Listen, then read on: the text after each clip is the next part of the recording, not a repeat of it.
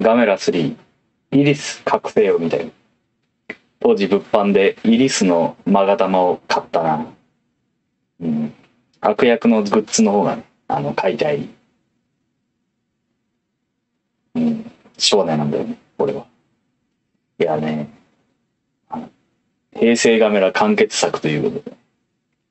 いやー、ワンカラーのね、なんか、キャラクターが続々出てきて、それはそれは楽しいしね。やっぱりね、ガメラ3といえばね、俺はやっぱり、あの、悪趣味な映像がね、一番好みでね。もうね、あの、目玉が飛び出るね、ギャオスとか。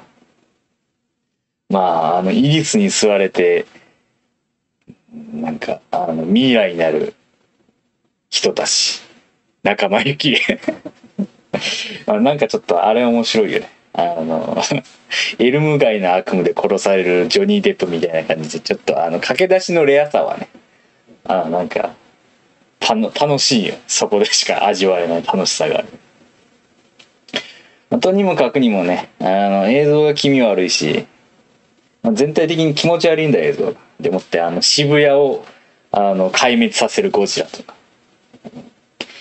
ギャオスとね、のた戦闘に夢中でね、あの、火球を撃ちまくって、その火球がね、渋谷に、渋谷を燃え上がらしてね、しかも、そ、しかも急にね、あの、ギャオスと空中戦でやってきたからさ、あの、1とか2みたいに逃げ、あの、避難する暇もなくね、戦ったからね、もう、ガメラの火球でね、あの、もう、人々がどんどん燃えていくという凄まじさ。いやー、いい、いい。そういうところ、大好きなんだ。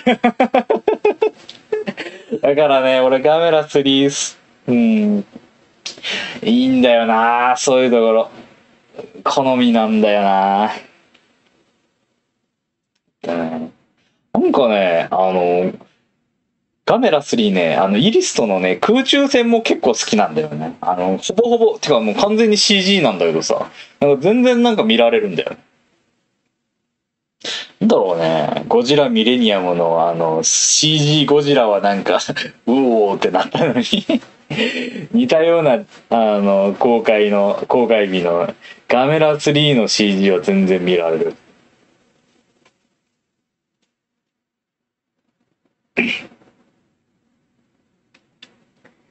イリスのデザインも好きなんだよな。あの、顔が、こう、流星のようで。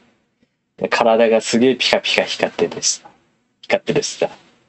あとなんか、なんか内容物が気味が悪いところも好きなんだよ。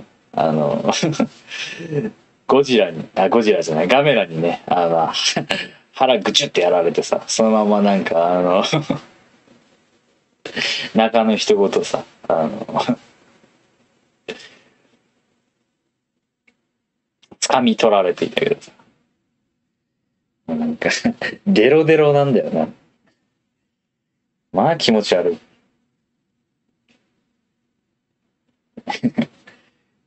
イリスといえばね、あの空時の強さ。普通さ、あの、イリスがさ、あの空中戦するだろ？で、こう、触手からさ、超音波メスをピュピュピュって出すんだよ。普通、そこで 人類なんてやられるじゃん。そこをなんか、さっさっさって避けるね。あの、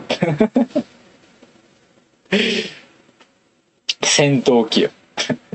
当たっとけよって思うんだけど。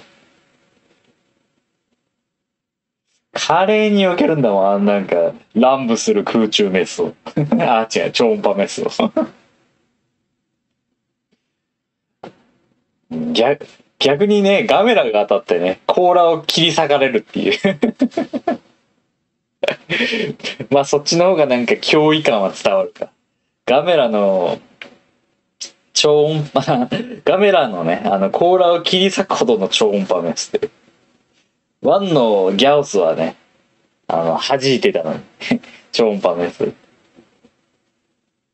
イギリスは違う。イギリスの超音波メスは一味違うっていう。